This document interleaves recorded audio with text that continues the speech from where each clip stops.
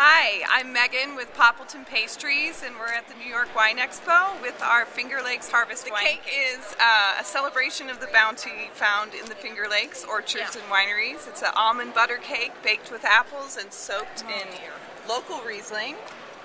Happens to be Glenora's Lake Series at this time. Yeah, looks so good. It is moist, delicious.